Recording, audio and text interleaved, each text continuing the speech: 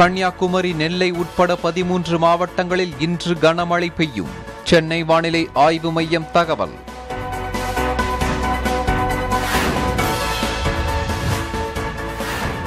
சாத்தூர் வெம்பக்கோட்டை அணை நிரம்பியதால் உபரி நீர் வெளியேற்றம். வைப்பாற்று கரையோர மக்கள் பாதுகாப்பான இடங்களுக்கு செல்ல அறிவுறுத்தல்.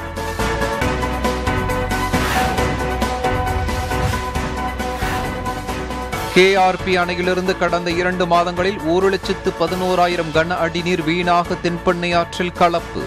உபரி நீரை கொண்டு கிருஷ்ணகிரி மாவட்டத்தில் உள்ள இரண்டாயிரம் ஏரிகளை நிரப்ப விவசாயிகள் கோரிக்கை.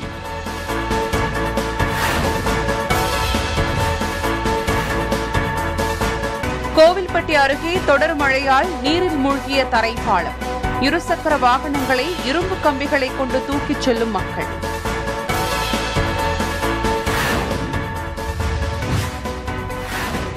மதுரை அரசு ராஜாஜி மருத்துவமனையில் பல இடங்களில் மழைநீர் கசிவு.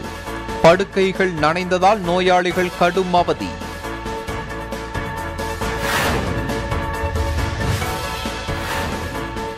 சென்னை மாநகராட்சியில் மிக மோசமான நிலையில் சாலைகள். தரமற்ற சாலைகளை அமைத்த ஒப்பந்ததாரர்கள் அதிகாரிகள் மீது நடவடிக்கை எடுக்க பொதுமக்கள் கோரிக்கை.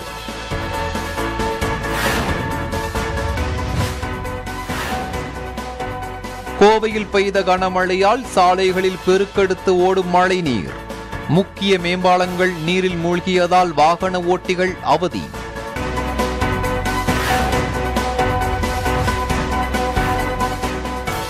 சபரிமலை ஐயப்பன் கோவிலில் டிசம்பர் ஒன்பதாம் தேதி முதல் ஜனவரி பதினான்காம் தேதி வரை தினசரி நாற்பத்தைந்தாயிரம் பக்தர்களுக்கு அனுமதி. திருவிதாங்கூர் தேவசம் போர்டு முடிவு.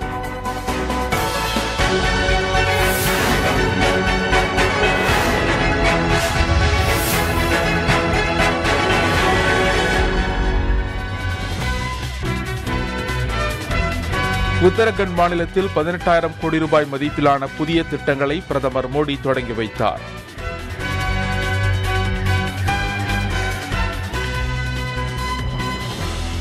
உலகின் மிகப்பெரிய தேசிய கொடி மும்பை கடற்படை கட்டுமான தளத்தில் ஏற்றப்பட்டுள்ளது.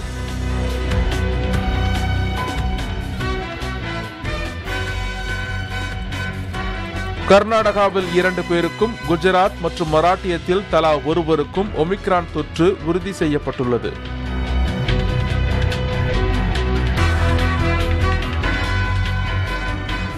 தமிழகத்தில் நேற்று நடைபெற்ற மெகா தடுப்பூசி முகாமில் இருபது லட்சத்துக்கும் அதிகமானோருக்கு கொரோனா தடுப்பூசி செலுத்தப்பட்டுள்ளது.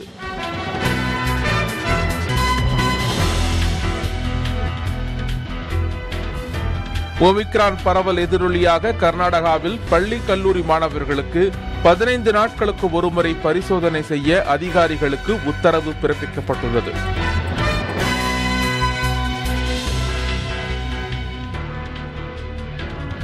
மாலியில் பயங்கரவாதிகளால் பஸ் தீ வைத்து எரிக்கப்பட்ட சம்பவத்தில் முப்பத்து மூன்று பேர் உயிரிழந்தனர்.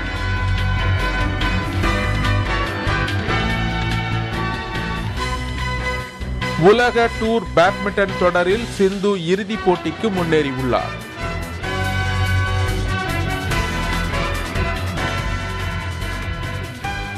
ஐஎஸ்எல் கால்பந்து தொடரில் இன்று கேரளா பிளாஸ்டர்ஸ் ஒடிசா அணிகள் மோதுகின்றன.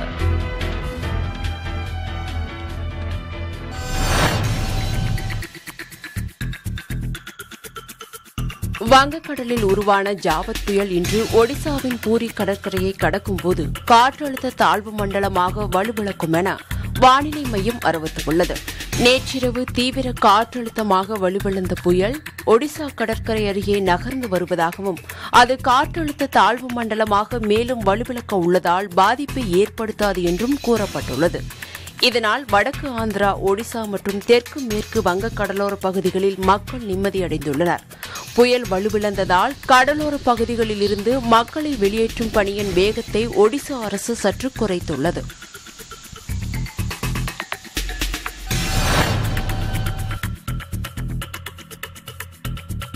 இன்று கன்னியாகுமரி திருநெல்வேலி மதுரை தென்காசி திருச்சிராப்பள்ளி சேலம் நாமக்கல் கோயம்புத்தூர் ஈரோடு தருமபுரி திருவண்ணாமலை நீலகிரி திருப்பூர் மாவட்டங்களில் கனமழை பெய்ய வாய்ப்புள்ளதாக வானிலை மையம் தெரிவித்துள்ளது.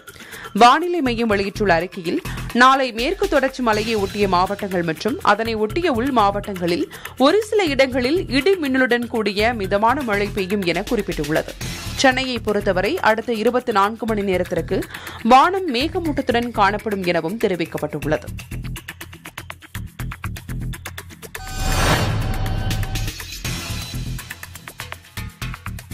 விருதுநகர் மாவட்டம் சாத்தூர் வெம்பக்கோட்டை அணை நிரம்பி உபரிநீர் வெளியேறுவதால் வைப்பாற்று கரையோர மக்கள் பாதுகாப்பான இடங்களுக்கு செல்ல அறிவுறுத்தப்பட்டுள்ளது.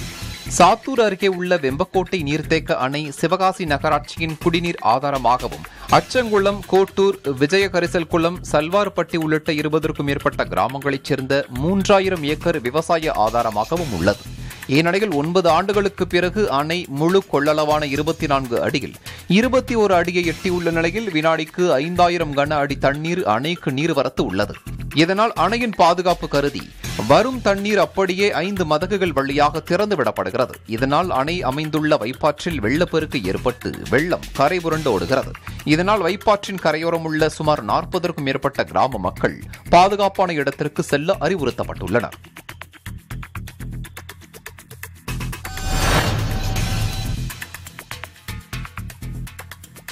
கிருஷ்ணகிரி கேஆர்பி அணையிலிருந்து ஒரு லட்சத்து பதினோராயிரத்து எழுநூற்று எழுபது கன அடி நீர் வீணாக தென்பனை ஆற்றில் சென்றுள்ளதாக விவசாயிகள் வேதனை தெரிவித்துள்ளனர். கிருஷ்ணகிரி மாவட்டத்தில் பெய்து வரும் மழையால் கேஆர்பி அணைக்கு தொடர்ந்து நீர்வரத்து உள்ளது. கடந்த எழுபத்தி மூன்று நாட்களாக அணைக்கு மொத்தம் ஒரு லட்சத்து இருபத்தி நான்காயிரத்து அறுநூற்று தொன்னூற்றி ஒரு கன அடி தண்ணீர் வந்துள்ளது. இதில் முதல் போக சாகுபடிக்காக இடது மற்றும் வலதுபுற வாய்க்காலில் பனிரெண்டாயிரத்து தொள்ளாயிரத்து இருபத்தி ஒரு கன அடி நீர் திறக்கப்பட்டுள்ளது. ஆனால் அணையிலிருந்து தென்பண்ணை ஆற்றில் ஒரு லட்சத்து பதினோராயிரத்து எழுநூற்று எழுபது கன அடி நீர் வெளியேற்றப்பட்டுள்ளது. இதனால் எண்பது சதவீதம் நீர் கிருஷ்ணகிரி மாவட்ட மக்களுக்கு பயன்படாமல் உபரி நீராக கடலுக்கு சென்று கலந்துள்ளது. இதனால் உபரி நீரை வாய்க்கால் மூலம் கிருஷ்ணகிரி மாவட்டத்தில் உள்ள இரண்டாயிரம் ஏரிகளில் நிரப்ப வேண்டும் என விவசாயிகள் கோரிக்கை விடுத்து வருகின்றனர்.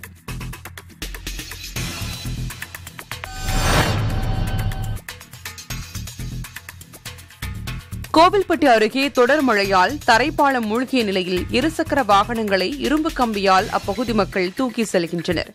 இலுப்பையூரணி கணபதிப்பட்டி சாலையில் இருக்கக்கூடிய நீராவி குளம் தொடர் மழையினால் நிரம்பி தண்ணீர் வெளியேறி வருவதால் சாலையில் உள்ள தரைப்பாலம் மூழ்கி நீர் தேங்கியுள்ளது. இதனால் அப்பகுதியில் போக்குவரத்து துண்டிக்கப்பட்டுள்ளது.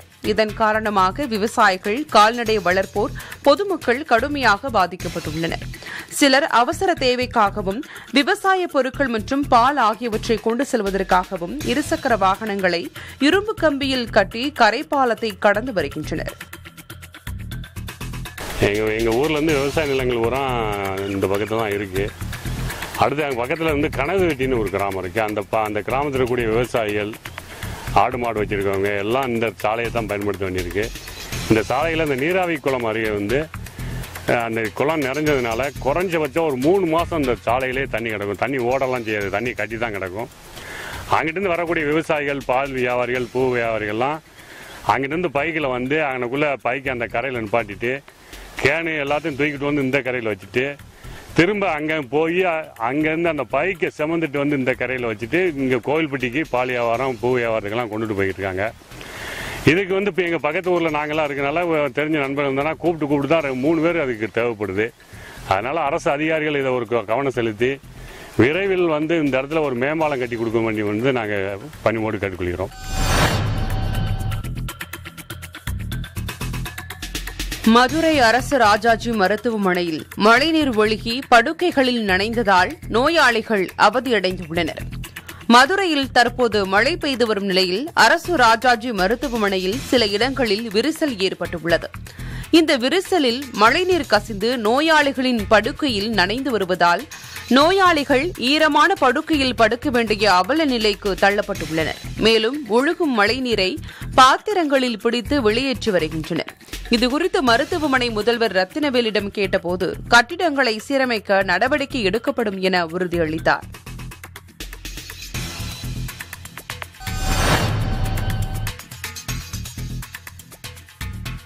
சென்னை மாநகராட்சியில் மிக மோசமான நிலையில் தரமற்ற சாலைகளை அமைத்த ஒப்பந்ததாரர்கள் அதிகாரிகள் மீது நடவடிக்கை எடுக்க பொதுமக்கள் கோரிக்கை விடுத்துள்ளனர். சென்னை மாநகராட்சியின் கட்டுப்பாட்டில் உள்ள பகுதிகளில் சாலைகள் மிக மோசமான நிலையில் ஜல்லிக்கற்கள் பெயர்ந்து தூசி மண்டலமாக உருவெடுத்து உள்ளதால் இருசக்கர வாகன ஓட்டிகள் பேருந்து பயணிகள் குழந்தைகள் பெரியவர்கள் என அனைவரும் கடுமையாக பாதிக்கப்பட்டுள்ளனர்.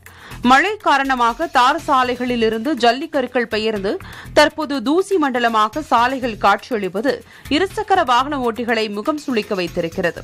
சென்னையின் புறநகர் பகுதியான பாடி குளத்தூர் திருமங்கலம் அம்பத்தூர் அம்பத்தூர் தொழிற்பேட்டையில் உள்ள பிரதான சாலைகள் தொடங்கி முக்கிய சாலைகள் என அனைத்து சாலைகளிலும் சாலையில் இருபுறமும் புழுதி பறக்கின்றன. எனவே உடனடியாக அதிகாரிகள் உரிய நடவடிக்கை மேற்கொள்ள வேண்டும் என கோரிக்கை எழுந்துள்ளது.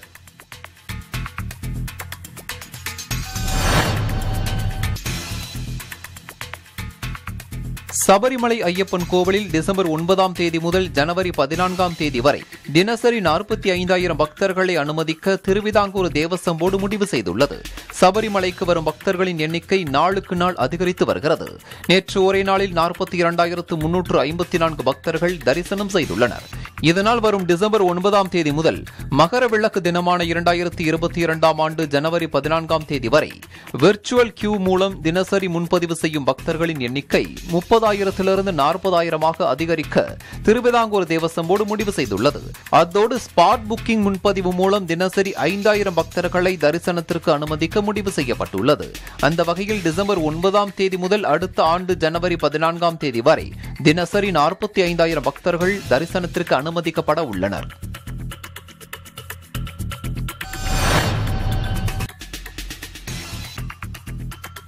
முன்னெச்சரிக்கை நடவடிக்கையாக தமிழகத்தின் பல பகுதிகளில் ஒமிக்ரான் தனி வார்டுகள் அமைக்கப்பட்டு வருகின்றன.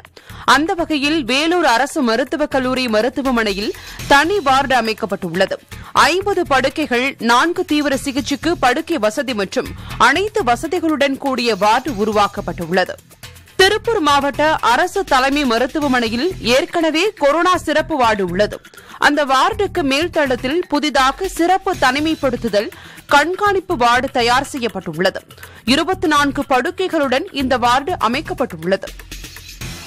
ஈரோடு அரசு மருத்துவக் கல்லூரி மருத்துவமனையில் ஒமிக்ரான் கொரோனாவால் பாதிக்கப்பட்டவர்களுக்கு சிகிச்சை அளிக்க வெண்டிலேட்டர் மற்றும் ஆக்ஸிஜன் வசதிகள் அடங்கிய பத்து படுக்கைகள் ஒதுக்கீடு செய்யப்பட்டுள்ளது. இதேபோல் தூத்துக்குடி அரசு மருத்துவமனையில் ஒமிக்ரான் தனி வார்டு துவங்கப்பட்டுள்ளது. தூத்துக்குடியில் விமான நிலையம் துறைமுகம் வழியாக வெளிநாட்டினர் வர வாய்ப்புள்ளதால் தொடர்ந்து தீவிர கண்காணிப்பு பணிகள் நடைபெற்று வருகிறது. புதுச்சேரிக்கு வெளியூர் மற்றும் வெளி மாநிலங்களில் இருந்து ஏராளமான சுற்றுலா பயணிகள் வருவது வழக்கம். இதனால் வைரஸ் பரவ வாய்ப்புள்ளதால் புதுச்சேரியில் அரசு மார்பக நோய் மருத்துவமனையில் தனி வார்டு ஒமேக்ரானுக்கு அமைக்கப்பட்டுள்ளது.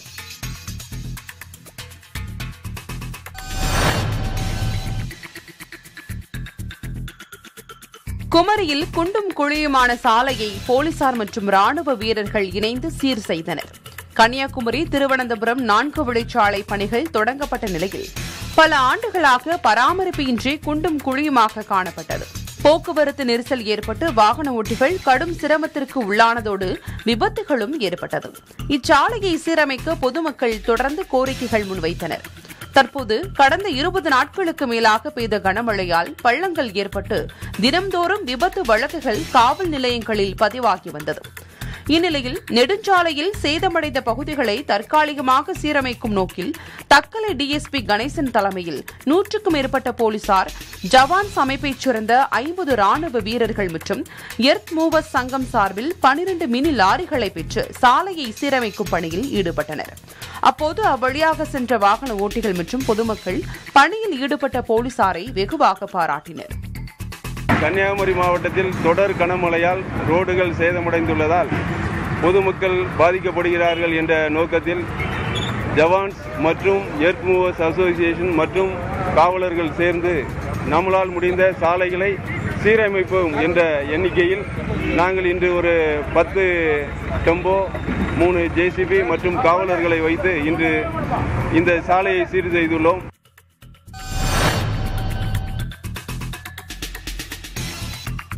சங்கரன் கோவில் அருகே பத்து ஆண்டுகளுக்கு பிறகு குளங்கள் நிரம்பி மறுகால் பாய்ந்து நீர்வரத்து கால்வாயில் தண்ணீர் செல்வதால் சிறுவர்கள் மீன்பிடித்தும் குளித்தும் விளையாடி வருகின்றனர்.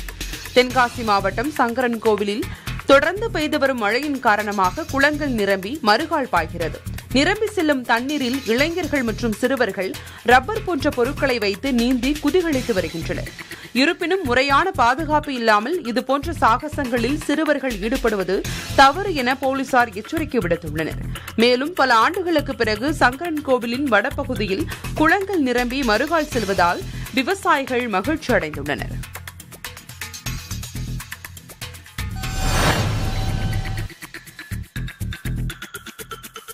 புதுச்சேரியில் பெய்த வரலாறு காணாத கனமழை காரணமாக தொன்னூறு சதவீத சாலைகள் சேதமடைந்துள்ளதால் வாகன ஓட்டிகள் அவதிக்குள்ளாகியுள்ளனர். கனமழை காரணமாக புதுச்சேரியின் பெரும்பாலான சாலைகள் குண்டும் குழியுமாக காணப்படுகின்றது. இதில் குறிப்பாக புதுச்சேரியிலிருந்து கடலூர் மற்றும் விழுப்புரம் செல்லக்கூடிய நெடுஞ்சாலைகள் மிகவும் மோசமாக சேதமடைந்துள்ளதால் வாகன ஓட்டிகள் மிகவும் சிரமத்திற்கு உள்ளாகியுள்ளனர். மேலும் அடிக்கடி விபத்துகளும் ஏற்பட்டு வருகின்றது. சேதமடைந்த அனைத்து சாலைகளையும் போர்க்கால அடிப்படையில் செப்பனிட வேண்டும் என்பது பொதுமக்களின் கோரிக்கையாக உள்ளது.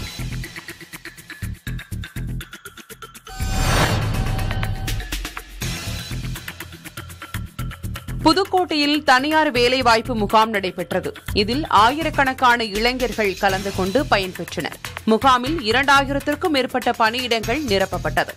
கொரோனா காலகட்டத்தில் வேலைவாய்ப்பு இழந்த இளைஞர்களுக்கு இந்த முகாம் பயனுள்ளதாக அமைந்ததாக மகிழ்ச்சி தெரிவித்துள்ளனர். நான் பிஇ மெக்கானிக்கல் இன்ஜினியர் படிச்சிருக்கிறேன். இங்கே வந்து இன்டர்வியூ வந்து அட்டன் பண்ணேன்.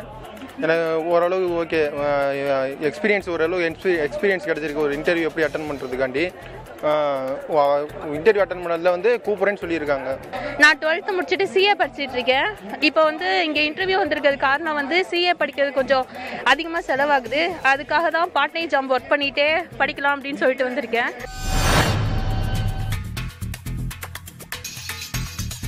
ராஜபாளையம் அருகே மாங்குடி கண்மாய் மடையை சிலர் அடைத்து வைத்ததால் மருத்துவமனை சாலை பேருந்து நிறுத்தம் உள்ளிட்ட பகுதிகள் நீரில் மூழ்கியது. மாங்குடி கண்மாய் நிறைந்து அடுத்த கண்மாய்க்கு தண்ணீர் செல்ல வழியின்றி மீனாட்சிபுரம் மருத்துவமனைக்கு செல்லும் சாலையில் தேங்கியதால் சாலை முழுவதும் தண்ணீரில் மூழ்கியது. இதனால் மருத்துவமனைக்கு செல்லும் மக்கள் பெரும் அவதிக்குள்ளாகியுள்ளனர். மறுபக்கம் உள்ள மாங்குடி பேருந்து நிறுத்தமும் தண்ணீரில் மூழ்கியதால் பயணிகள் சாலையின் நடுவே இறக்கிவிடப்படுகின்றனர்.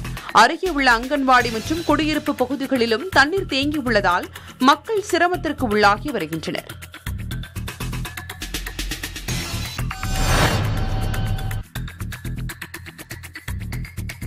மதுரை அலங்காநல்லூர் பகுதிகளில் இரண்டாம் போக சாகுபடி பணிகளில் விவசாயிகள் மும்முரமாக ஈடுபட்டுள்ளனர். பல ஏக்கர் பரப்பளவில் அலங்காநல்லூர் பகுதிகளில் விவசாய பணிகளை செய்து வரும் நிலையில் விவசாயிகள் பலரும் தங்கள் நிலத்தில் நாற்று நடும் பணிகளை தொடங்கியுள்ளனர். இந்நிலையில் நாற்று நடும்போது களைப்பு தெரியாமல் இருக்க நாட்டுப்புற பாடல்களை பாடியபடி பெண்கள் விவசாய பணிகளை களைப்பில்லாமல் செய்து வருகின்றனர்.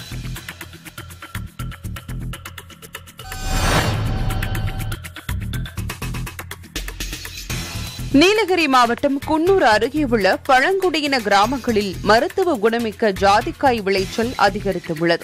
இங்குள்ள பழங்குடி மக்கள் மற்றும் தோட்டக்கலைத்துறையினர் இந்த ஜாதிக்காயில் ஊறுகாய் செய்து சந்தைப்படுத்தி வருகின்றனர். ஜாதிக்காய் மற்றும் பூவில் பல்வேறு மருத்துவ குணங்கள் உள்ளதால் இவை மருத்துவ பொருட்கள் தயாரிக்க பல நாடுகளுக்கு இது ஏற்றுமதி செய்யப்படுகிறது.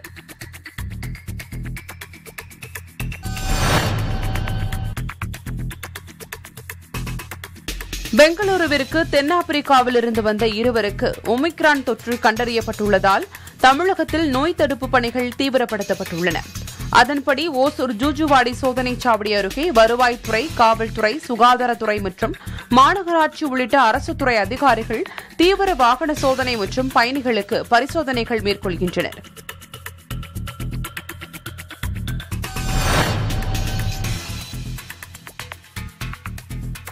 முன்னெச்சரிக்கை நடவடிக்கையாக ராமேஸ்வரம் நகராட்சி பகுதிக்குள் வரும் கேரளா கர்நாடகா ஆந்திரா உள்ளிட்ட வெள்ளி மாநில வாகனங்களை சோதனை சாவடிகளில் சுகாதாரத்துறையினர் மறித்து முழுமையாக சோதனையிட்டு வந்திருக்கும் அனைவரும் கொரோனா தடுப்பூசி போட்டு உள்ளார்களா என்பதை உறுதிப்படுத்தி உள்ளே அனுமதித்து வருகின்றனர்.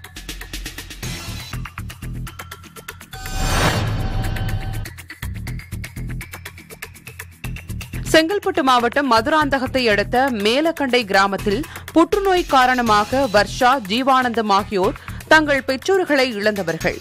இந்த நிலையில் அவர்கள் தங்கியிருந்த வீடும் கனமழை காரணமாக சுவர் இடிந்து சேதமானது. இதனையடுத்து மாவட்ட ஆட்சியர் ராகுல்நாத் நேரில் ஆய்வு செய்து பிரதம மந்திரி வீடு கட்டும் திட்டத்தின் கான்கிரீட் வீடு கட்ட ஆணை வழங்கினார்.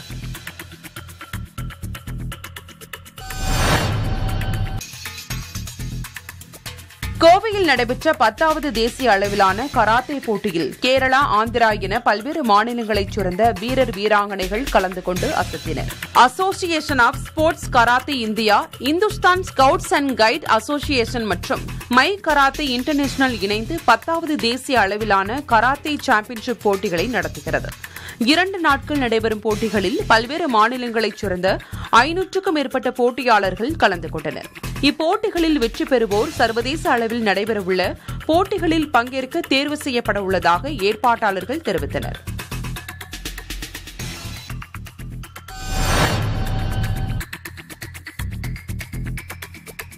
திருச்சியில் வயதான பெண்ணிடம் வசிய மருந்து கொடுத்து பத்து பவுன் நகை கொள்ளையடிக்கப்பட்ட சம்பவம் அதிர்ச்சியை ஏற்படுத்தியுள்ளது.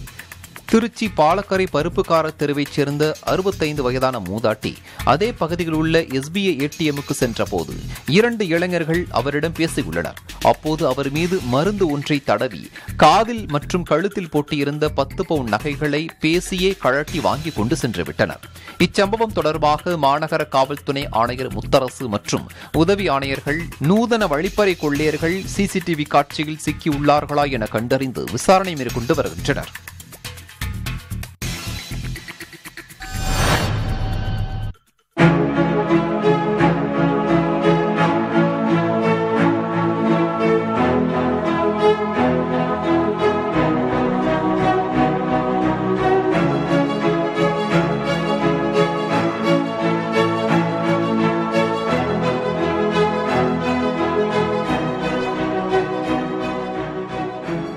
தருமபுரி அடுத்த நாகர்கூடல் அருகே வங்கி பணியாளர் குறைந்த செலவில் கட்டியுள்ள வட்ட வடிவிலான சூழலியல் சார்ந்த வீடு அனைவரையும் வெகுவாக கவர்ந்துள்ளது. மனிதர்கள் அனைவரும் தங்கள் வாழ்க்கையில் அழகான வீடு கட்டி வாழ வேண்டும் என்பதை கனவாக கொண்டுள்ளனர். ஆனால் ஒரு தம்பதி இயற்கையோடு இணைந்த சூழலியல் வாழ்க்கை வாழ திட்டமிட்டு வட்ட வடிவிலான வீடு கட்டி செல்ல பிராணிகளுடன் குருவி கூடாக ஆனந்தமாக வாழ்ந்து வருகின்றனர்.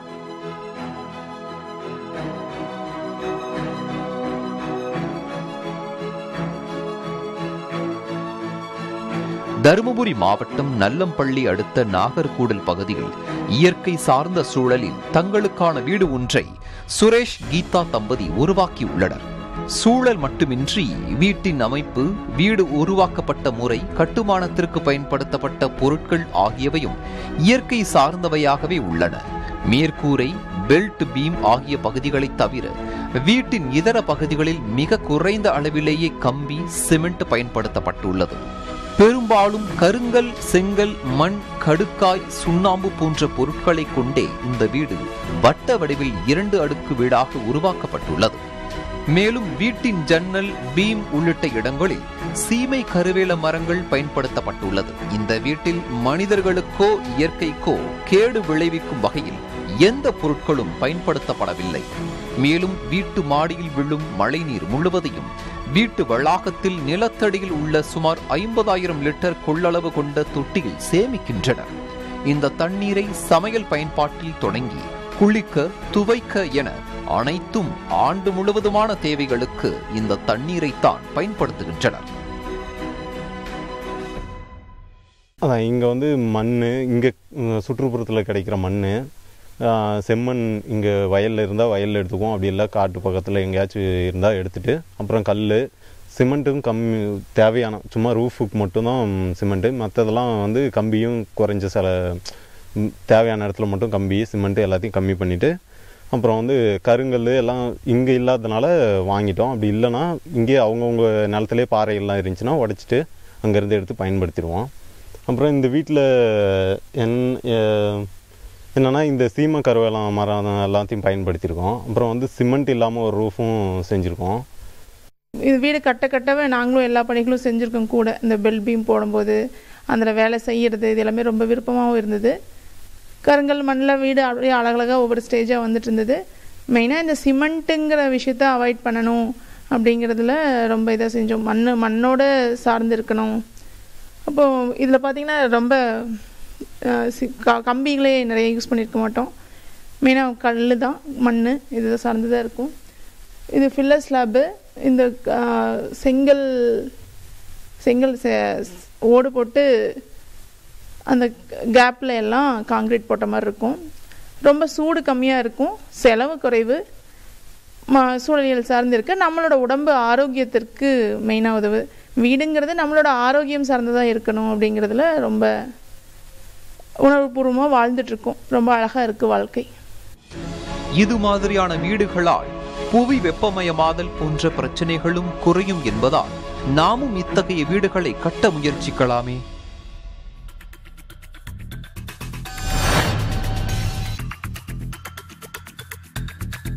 நீலகிரி அரசு தேயிலை தோட்ட அலுவலகத்திற்குள் நுழைந்த காட்டு யானைகள் அங்கிருந்த கோப்புகளையும் சேதப்படுத்தின. கூடலூரை அடுத்துள்ள குடோன் பகுதியில் அரசு தேயிலை தோட்ட கழக அலுவலகம் உள்ளது. இந்த பகுதிக்கு இரவு நேரத்தில் வந்த பதினான்கு காட்டு யானைகள் அலுவலகத்தில் கதவு மற்றும் ஜன்னல்களை உடைத்து சேதப்படுத்தி உள்ளே இருந்த பல்வேறு கோப்புகளை எடுத்து வெளியில் போட்டும் மிதித்தும் இருக்கின்றன. கடந்த சில மாதங்களாகவே ஊருக்குள் வரும் காட்டு யானைகள் வீடுகள் மற்றும் அலுவலகங்களை சேதப்படுத்துவதை வாடிக்கையாக கொண்டிருக்கிறது. இதனால் இப்பகுதி மக்கள் கடும் அச்சத்தில் இரவு நேரங்களை கழிக்கின்றனர்.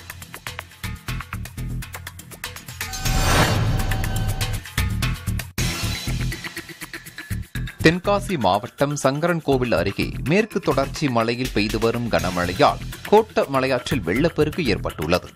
மழைநீர் கோட்ட மலையாற்றிலிருந்து கலிங்கப்பட்டி திருவேங்கடம் வழியாக வெம்பக்கோட்டை அணைக்கு செல்கிறது. பின்னர் அங்கிருந்து வேம்பார் சாத்தூர் வழியாக கடலின் முகப்பு பகுதியான வைப்பாற்றுடன் கலக்கிறது. கடந்த மூன்று நாட்களாக நித்சேப நதி ஆற்றில் வெள்ளம் கரைபுரண்டு ஓடுகிறது. இதனால் அப்பகுதி மக்கள் மகிழ்ச்சி அடைந்துள்ளனர்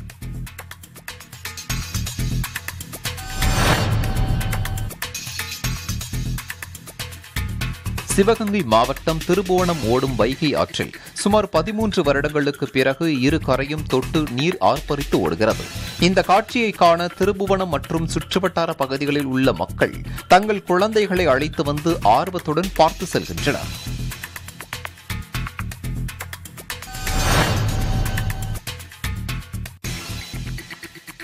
நெல்லை மாவட்டம் வள்ளியூர் சுற்றுவட்டார பகுதிகளில் மூன்று மணி நேரத்திற்கும் மேலாக கனமழை வெளுத்து வாங்கியது.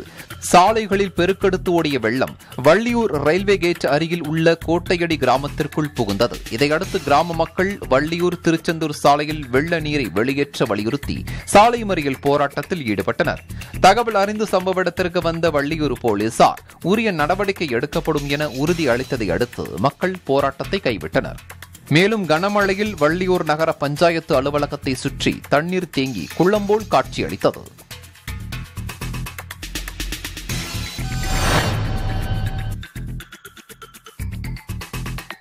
நெல்லை மாவட்டம் வள்ளியூரில் பெய்த கனமழை காரணமாக அரசு பள்ளி சுற்றுச்சுவர் இடிந்து விழுந்தது.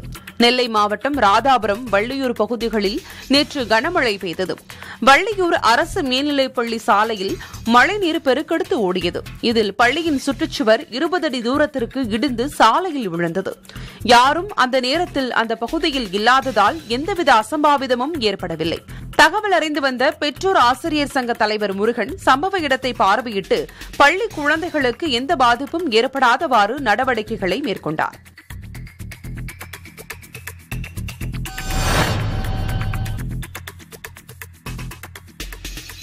கொடைக்கானல் மலைப்பகுதிகளில் கடும் பனிமூட்டத்துடன் கூடிய காலநிலையை அனுபவிக்க சுற்றுலா பயணிகள் படையெடுத்துள்ளனர்.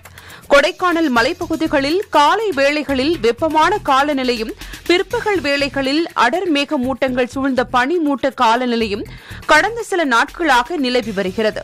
இதையடுத்து அங்கு குவிந்த சுற்றுலா பயணிகள் குதிரை சவாரி மிதிவண்டி சவாரி மற்றும் படகு சவாரி செய்து மகிழ்ந்து பொழுதை கழித்தனர்.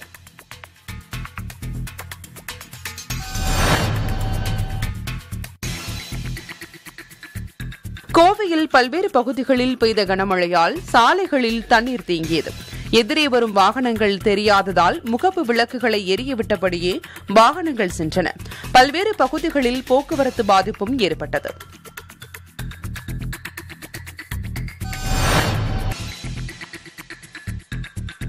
திருப்பூரில் நடைபெற்ற மாநில அளவிலான சைலாப் சிலம்ப போட்டியில் ஏராளமான மாணவர்கள் பங்கேற்று தங்களது தனித்திறமைகளை வெளிப்படுத்தினர்.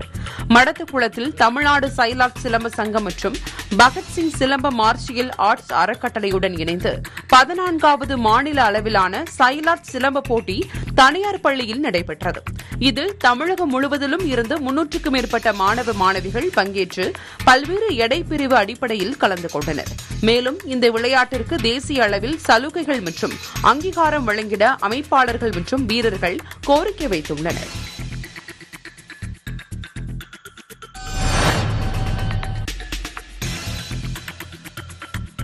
மயிலாடுதுறையில் வீட்டின் சமையலறையில் இருந்த நல்ல பாம்பு லாவகமாக பிடிக்கப்பட்டு வனப்பகுதியில் விடப்பட்டது. மயிலாடுதுறை மாவட்டம் சீர்காழி சுற்றுவட்டார பகுதிகளில் கடந்த ஒரு மாதத்திற்கு மேலாக தொடர் மழை பெய்து வருவதால் பல பகுதிகளில் குடியிருப்புகளை சுற்றி மழைநீர் தேங்கியுள்ளது. இதனால் பாம்புகள் அவ்வப்போது குடியிருப்பு பகுதிகளில் புகுந்து அச்சுறுத்தி வருகிறது. இந்நிலையில் சாய்பாபா நகரில் உள்ள கணேஷ் என்பவரின் வீட்டில் புகுந்த ஆறடி நீளமுள்ள நல்ல பாம்பு சமையலறைக்குள் பதுங்கிக் கொண்டது. இதுகுறித்த தகவலின் பேரில் வந்த பாம்பு பிடி வீரரான பாம்பு பாண்டியன் சமையலறைக்குள் மறைந்திருந்த பாம்பை லாபகமாக பிடித்து பாட்டிலில் அடைத்தார். பின்னர் அந்த பாம்பு பத்திரமாக வனப்பகுதியில் விடப்பட்டது.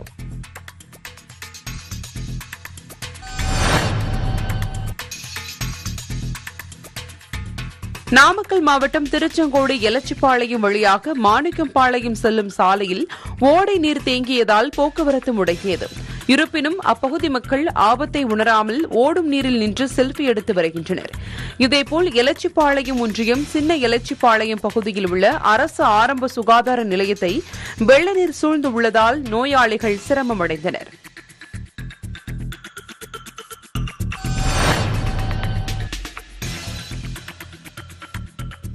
வல்லபாய் பட்டேலுக்கு வானுகிர சிலை அமைத்தது போல் புதுச்சேரியில் மகாகவி பாரதியாருக்கு புதுச்சேரி கடற்கரையில் வானுகிர சிலை அமைக்கப்படும் என ஆளுநர் தமிழிசை தெரிவித்துள்ளார். புதுச்சேரி சுற்றுலாத்துறை சார்பில் நடைபெற்ற நிகழ்ச்சியில் துணைநிலை ஆளுநர் தமிழிசை பங்கேற்ற அவர் அவ்வாறு பேசினார்.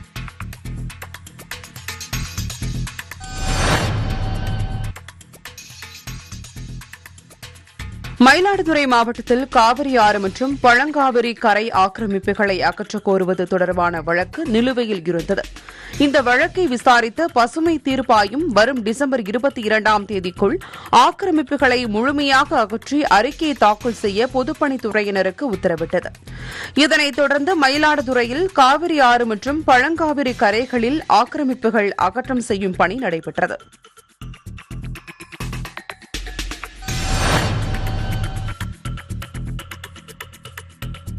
கோவை மாவட்டம் ஆனைமலை அருகே கல்லார்குடி பகுதியில் மலைவாழ் மக்கள் அரசு வழங்கிய இடத்தில் வசிக்க அனுமதிக்கப்பட்டனர். இதையடுத்து அவர்கள் வனப்பகுதியில் குடிசைகள் அமைத்தனர். ஆனால் அவ்விடம் அனுமதிக்கப்படாத இடம் என குடிசைகளை வனத்துறையினர் அகற்றினர். இந்த செயலுக்கு எதிர்ப்பு தெரிவிக்கும் வகையில் மலைவாழ் மக்கள் பொள்ளாச்சியில் ஆர்ப்பாட்டம் நடத்தினர்.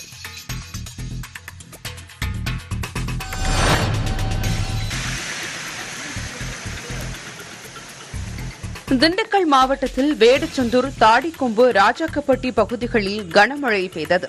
மழையின் காரணமாக சாலை மற்றும் தெருக்களில் மழைநீர் பெருக்கெடுத்து ஓடியது.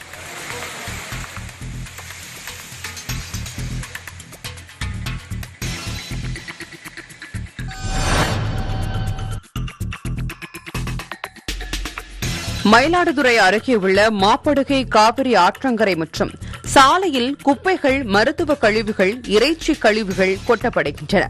இதனால் அப்பகுதியில் வசிக்கும் பொதுமக்கள் தங்களுக்கு நோய் தொற்று ஏற்படும் அபாயம் ஏற்படுவதாக கவலை தெரிவித்து சாலை மறியலில் ஈடுபட்டனர். மேலும் அப்பகுதியில் குவிக்கப்பட்ட கழிவுகளை உடனடியாக அகற்றவும் வலியுறுத்தினர்.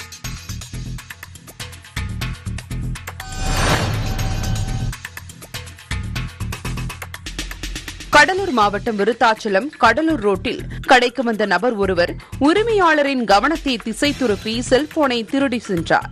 இது தொடர்பான வீடியோ வைரலாகியுள்ளது. வீடியோவை அடிப்படையாக வைத்து போலீசார் குற்றவாளியை தேடி வருகின்றனர்.